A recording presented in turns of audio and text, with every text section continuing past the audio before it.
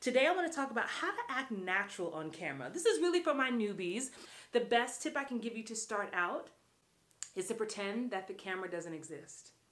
So too many times people freeze up when the camera turns on.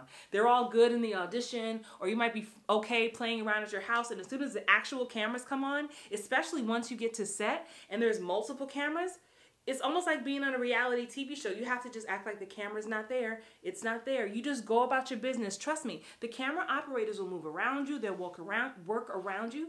But if you start to look like, oh gosh, the camera's there. Oh, you start acting funny and you start acting, that's when it all goes downhill. So get used to just being on camera. Have your friends or family follow you around the house with the camera and you pretend like it doesn't exist. You just live your normal life and see how that feels. But you have to get used to being in front of the camera and you can't turn into a robot when the camera comes on.